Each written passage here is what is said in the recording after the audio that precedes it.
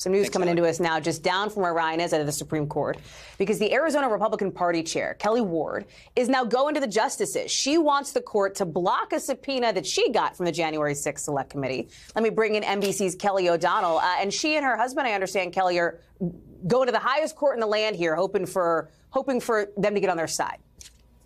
That's right, because they're uh, both physicians and their medical group. Uh, the phones that they use are part of that company, and so they are trying to fight access to the committee of their personal cell phones and the ones they use for their business. And Kelli Ward is someone who is very prominent in Trump world. Not only is she the GOP chairman in Arizona, she's been a candidate for office. She is someone who was a Trump elector. She has been a vociferous supporter of Donald Trump. And she was subpoenaed to testify before the committee and there asserted her Fifth Amendment rights against self incrimination. This is about her phone records, which would detail who did she talk to? Who did she text with?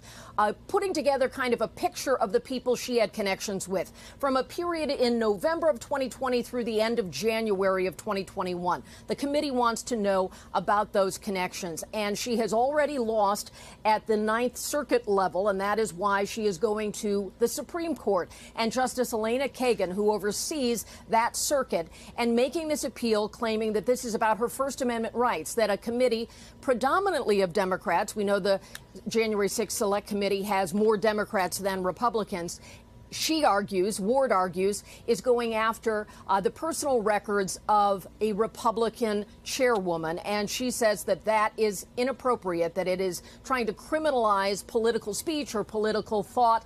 And the lower court viewed that differently and said these records could provide important investigative material for the committee. And she has already asserted her Fifth Amendment rights in questioning, and they want to get those records. So, what will the High Court do? We don't yet know. Justice Kagan can refer this to her fellow justices for them all to consider, or she can review it herself. But it just tells you what's at stake here that this issue of the battle over democracy and the committee's efforts to try to get to the facts are now going all the way to the Supreme Court.